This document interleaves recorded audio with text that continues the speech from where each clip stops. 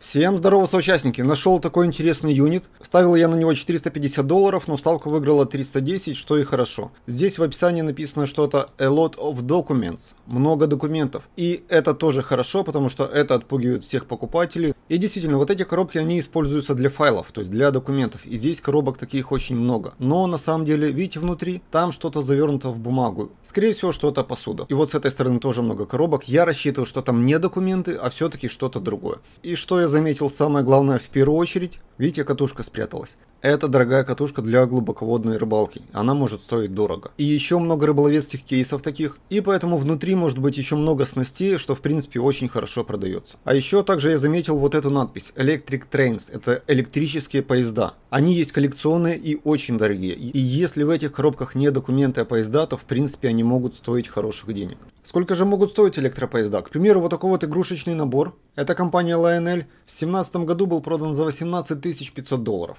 Поэтому я думаю, что в принципе можно попытаться. И вместе с комиссией юнит обошелся в 350 долларов, и я предлагаю поехать и посмотреть, что же внутри. Открыли мне этот юнит, я не буду его сегодня забирать, я приеду за ним завтра, но я хочу посмотреть, много ли там мусора. Так, что с удочками? О, так здесь не одна катушка, раз, два, Такая мощная удочка. Pen Senator 6.0. Made in USA. Отлично. Может быть уже юнит отбился. Это пустые коробки. А вот и запчасти от электрика трейна. И если здесь не файлы, а все это будет поезд, это будет куда лучше. Нет, здесь книги. Ну, то есть это, это лучше, чем файлы, но все равно хуже, чем поезд. Тоже книги, тоже книги. О, тоже поезда. Поезда стоят денег. И поезда оказались производства компании Gilbert, они начали выпускать их в 30-е годы, и вот почем они были проданы, 600 долларов, но это 26-я страница поиска. Если мы перейдем на первую, вот 34 год, Gilbert был продан за 4250 долларов, вот такой вагончик. Если посмотреть, почему выставляют, то в продаже можно найти модельки даже по 10 тысяч долларов. Поэтому что надо сделать? Надо перебрать все, что там найдется в коробках и посмотреть, есть ли там дорогие модели. А здесь их много, я хочу сказать. Я думаю, что вот этими поездами одной коробкой я уже отбил полностью весь юнит.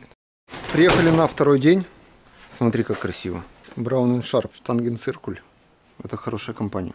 И достаточно недешевая вещь, вот новую такую выставляют за 260 долларов, бэушная 112. Но я думаю, что долларов за 70 должна уйти. Разговаривал с менеджером, он сказал, что очень пожилой человек был, нет у него никого из родственников, кто мог бы это все забрать, поэтому он просто это оставил. Сигарет нет, человек был не курящий. И остаток на счету 49 770 долларов. Книги про рыбалку. Ганс. Ну, не то, что Кристиан Андерсон, а Именно Ганс. Может найдем что здесь? Да, кол, манок. Солдженицын. Да, я видел вчера, это Б-52. Может даже все на месте? Я думаю, что да, на месте. Да? Наклеечки, все на месте. Смотри, сколько бомб комплекте. Ну, это бомбардировщик. Ну да. Он должен иметь много бомб, правильно? И вот эта модель была продана на аукционе за 46 долларов плюс доставка. Здесь она была продана за 50 плюс доставка. Я думаю, что долларов 40 можно и поставить. О, смотри, здесь карточки альбом с карточками. Перчатка. Ну, такое. Canon. И в коробке с фотооборудованием ничего дорогого не нашлось, кроме этой камеры, она стоит в районе 100 долларов. Остальные камеры объективы 10, 15, 20 долларов, поэтому предлагаю коробку оценить в 150 долларов. Баскетбол и даже бейсбол.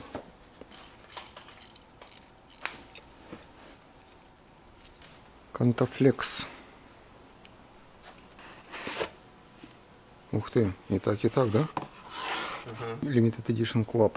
Именно эта книга стоит недорого, выставляют ее за 50 долларов. Она была продана за 18 плюс доставка. Я думаю, что долларов 15 можно за нее заложить. Но некоторые книги этого клуба были проданы дорого. 900 долларов за коллекцию, Моби Дик 1250 и даже книга за 1500. Пластинки. Колумбия. Это Россевиль USA. Подсвечник тоже. Россевиль, американская компания, в принципе, ее продукция не особо дорогая, она распространенная, но есть крайне редкие изделия, за которые коллекционеры готовы платить большие деньги. Вот ваза была продана за 1500 долларов, вот за 1900 и здесь 12 900 был офер. Если посмотреть по истории продаж, то вот она была продана за 10 тысяч, вот за 10 тысяч. Вот такие вот вазы 9500, вот 9500. Что такого необычного? Ого! Норман Роквелл. Мария и Стэн подарили ему книгу. Ого. Так, дошли руки до поездов. American Flyer. Гильбер. Вот какое. Колумбус 960. Что везем? Золото? Нет. А что тогда? Ниагара Фоллс. О, Санта-Фе. Вот это поезд. Платформа. Еще один Санта-Фе. Ну, один с одной стороны, другой с другой. А вдруг надо резко в другую сторону. И еще Санта-Фе. Вагон. И вот локомотивы Санта-Фе, 3 единицы были проданы за 315 долларов. 450, 560, 660. И новые в коробках продаются по 700 долларов, 800 долларов и даже 1125 долларов. Но есть отдельные редкие вагоны, которые за единицу стоят 1800 долларов. Надо более внимательно проверить коробки. Итого раз, два, три, четыре, пять. И в коробке оказалось 12 единиц при средней стоимости 50 долларов за вагон, плюс Санта-Фе. Я бы оценил коробку долларов 600. Ну а там посмотрим, как будет продано. Может там окажется что-то супер редкое и дорогое. 977. Это красиво. Это рождественские тарелки. Это 77 год, но на каждый год свой рисунок. Именно это стоит недорого. Ну вот 90 с небольшим тарелок этой компании Royal Copenhagen были проданы за 5600 долларов. А также в истории продаж можно посмотреть, как другие наборы посуды этой компании были проданы за 19 тысяч, за 18 тысяч долларов, за 16 с половиной. Не дешевая посуда. Похоже на форму военную. А теперь пуговицы. Не понял. Показываю. А вот что пуговицы. Ив Сен-Лоран. О, Да, троечка, оригинал. Да, похоже на униформу, но на самом деле... И я нашел точно такую же модель костюма, и пару месяцев назад он был продан за 280 долларов. Для более быстрой продажи предлагаю оценить его в 200 долларов. Так, здесь стекло. Симпатично. Деревянная машина. Ой, что-то от нее. Германия. О, еще книги про оружие. мгм. Еще старинное оружие. Вот. Но если столько книг много про старинное оружие, как ты думаешь, мы на правильном пути? Так, еще такая красота. 76 год. Копенгаген. Навидат это Рождество, да? Фелис Навидат. Ладро, Испания. Ну, понятно, по-испански написано. Навидат 71. Здесь ценник 29,50. Little Man. Тоже Гросса Тенданлоп. Британика. Ага. Гросса Тенданлоп. Целая коробка. Гросса Тенданлоп – это старое американское издательство. В основном они печатают детские книги, и приобрести их можно недорого. Доллар, 2, 5, 10. Но также у них есть редкие экземпляры, которые могут стоить по 100 долларов. Вот, допустим, как этот Дональд Дак на аукционе, он был продан за 135 долларов. Поэтому, если в коробке не найдется ничего особенного, то коробка будет продана минимум за 50 долларов. Какая старенькая, да? А это не дешевая французская компания Лемуш. И тарелки отдельно стоят по 50, 60, 70 долларов, некоторые стоят по 100 долларов. А вот почем были проданы наборы. Допустим, вот такой вот набор с рыбками был продан за 4800 долларов. Или вот такой набор, но здесь аж 100 предметов. 4400 долларов. Посуда не дешевая. Поэтому я думаю, что за эту тарелку долларов 40 можно заложить. Она прям железная. Прямо железная, она под напряжением. Она электрическая. О, а вот и пульт.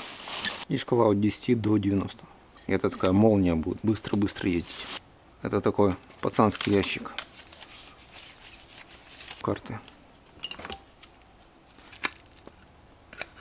Посмотрим.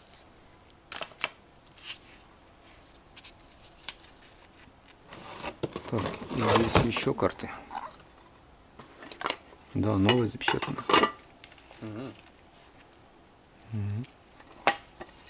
Батарейка. Батарея, правильно. Бинокль. 750. Stellar. Nikon. Nikon FA. Они, кстати, могут хорошо стоить такие аппараты. И такой Nikon с объективом и с аккумулятором, я думаю, что долларов за 100 вполне реально продать. Вот они были проданы по 140, по 150. Nikon. Это для трубок. Вот так ставится. Мамия Сикор. Ого. Canon FT. Эти последние две модели недорогие. Можно попытаться долларов 50 получить за обе. Зажигалочка такая. Modern Piezoelectric Gas Light. Красиво. Пух, пух, пух, пух. Так, еще поезда. Берлингтон. Электровоз. Да, и вот это еще поезда. Это все можно за один раз продать. Это компания Тайко, эти модели поездов не особо дорогие, коробка будет стоить от 50 до 100 долларов. Чатануга. Извините, поправочка, только Чатануга будет стоить 50 долларов, поэтому минимум 100 долларов за коробку. Тика Чатануга.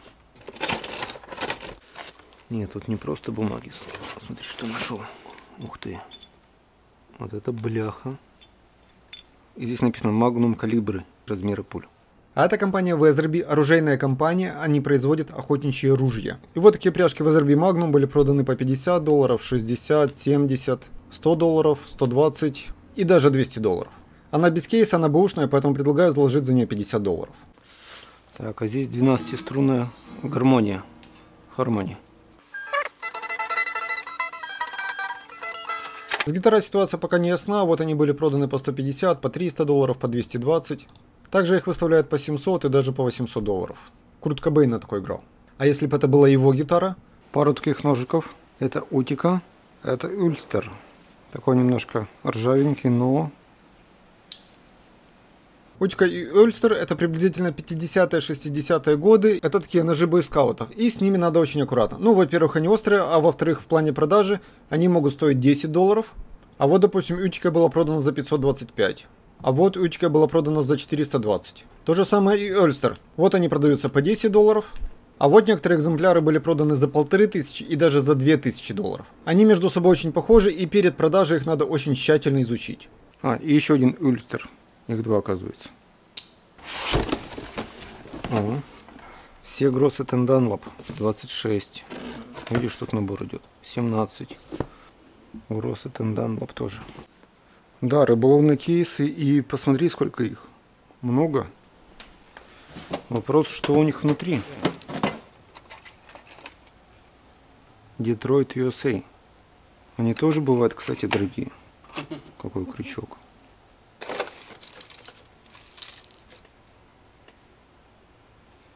Ну что, пора на рыбалку, значит. У меня из рыбалки только одна удочка и холодильник для пива, и все. А здесь смотри, сколько всего. Катушечка необычная. Она металлическая. Да, но надо разработать немножко. А так, вполне в рабочем состоянии. Кого можно было ловить, скажи? Тунца. Тунца? Посмотри на эту блесну. Офигеть. Made in France. Так, сегодня будет тема рыболовецкие снасти. А это победители сегодняшнего розыгрыша, выбранные из комментариев с ключевыми словами. Вот, смотри, тоже какое. Да, но не любая рыба на такое позарится. Просто физически не сможет это осилить. Снасти уходят очень быстро. Здесь это круглый год рыбалка, и как только в продаже появляются снасти, то снасти продаются в лед вообще. Что-то старенькое. Ух ты. 1929. И оказалось, что это книга Эрнест Хемингуэй. Вот она была продана за 150 долларов, вот за 20, а вот за 350 долларов первое издание. Поэтому надо книги все пересмотреть аккуратно. Они в плохом состоянии, но может найдется что-то очень редкое. Так, ладно, надо будет пересмотреть их. О, вот это ништяк, смотри. Вот это зачетно. Тарахтелка, трещалка, гуделка, пепелка. Так, здесь стекло пошло. Ну как пошло, вышло. Кувшинчик с надписью София. Еще поезда. Мост, электровоз, вагон, бревновоз. А это поезда компании Бакман. Не особо дорогие, но я думаю, что минимум за 50 долларов коробка должна уйти. Такая соусница или что это. Ну, с таким горлышком, я смотрю. И цена 3 доллара. На распродаже была куплена. И если это та компания, о которой я думаю, да, Royal Dalton, так и есть. Вот эти штуки бывают крайне дорогие. Я знаю, что в большом размере продавались очень дорого. И редкие кружки были проданы 1600 долларов, 2000, 2300, 3000 долларов и даже 5000 долларов. А также они продаются по 10, по 15, по 20, даже по 50 долларов за штуку. 3 доллара. Роял Долтон. Так, а это знаете что? А, на ритаке. Вот такая вот. О, еще для коллекции. Что здесь так хорошо упаковано? Ладро. Ой, красота какая. 40 долларов цена. Испанская компания Ladro произносится как ядро. Фарфоровые изделия ручной работы очень популярны у коллекционеров. Имеет очень широкий ценовой диапазон. Их статуэтки можно найти и за 10, и за 15 долларов, а также есть очень дорогие экземпляры. К примеру, вот такие были проданы по 3,5 тысячи долларов. Вот 3,5, вот 3,5. И это 12 страничка поиска. Что же будет, если перейти на первую? А на первую 11 тысяч, 12 тысяч долларов, 15 тысяч долларов. И вот такая композиция за 27,5 тысяч долларов была продана. Что же касается именно этой статуэтки, то она активно продавалась по 50 долларов, а также цена доходила до 120 долларов, поэтому я бы 50 долларов поставил бы минимум. Так, и здесь тоже, тоже ладро. Но здесь что-то большое. Самый дорогой ладро, который мне попадался, был продан где-то долларов за 500 с копейками. 250 цена. А номер F18A. Палка отпала. Вот она. И вот эта фигурка продавалась по 300 долларов, 250, 250. Но учитывая то, что она без коробки, я бы цену спустил до 200 для более быстрой продажи. 50 штатов. Что за 50 стоит? Ну, начало положено, это уже хорошо. Начало это полдела. Так что... Ну, что это? Часы такие. Не, не золото, но... О, это другое дело. М? Может быть что-то драгоценное, как думаешь? 925 это, это серебро. Смотри. Пабам. А ну, excuse me. Сейку.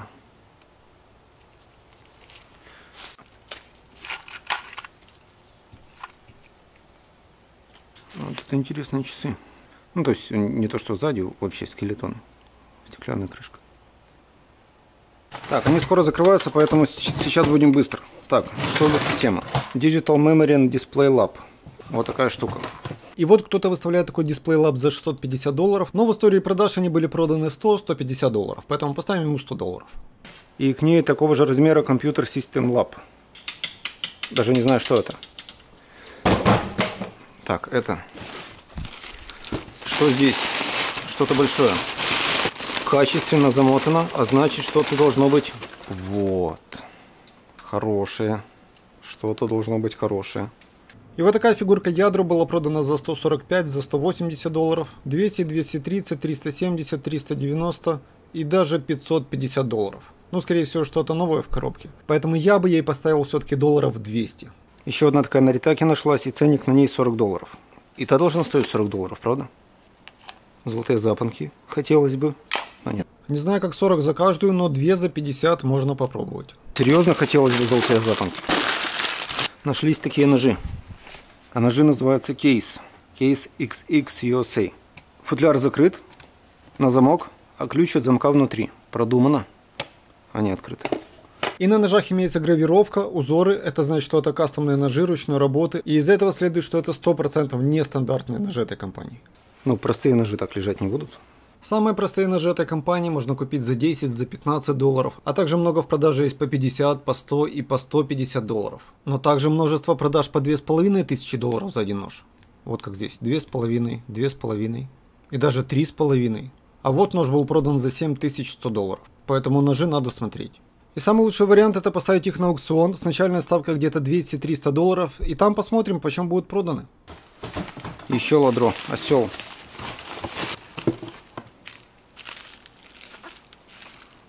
F1. Здесь внутри была такая статуэтка, я думаю, что 80 долларов можно поставить. 175, перечеркнуто 125. А, то есть стоило 550, потом 375, 175, 125. Так и не было продано.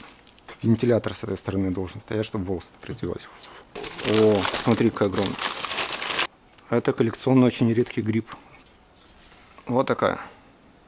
Эта фигурка была продана за 500, 400, 450, 350 и даже 190. Предлагаю поставить 250 долларов. Японская. Вардо. Ценник был 45 долларов. 8A.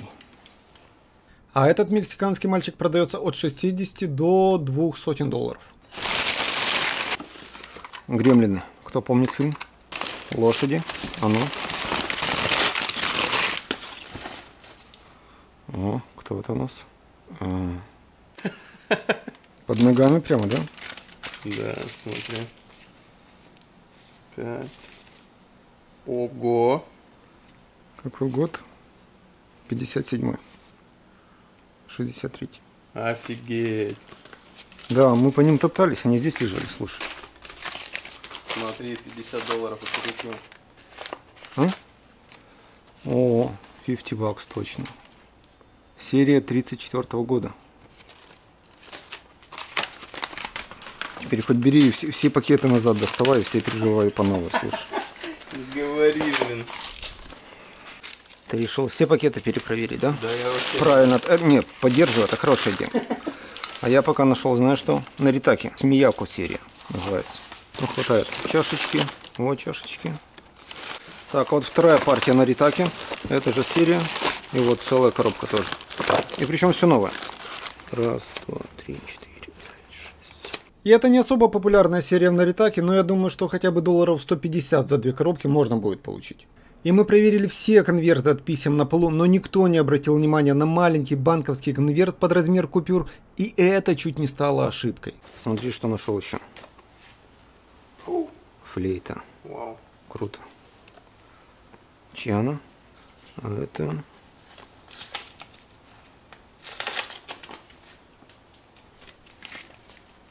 Да ладно.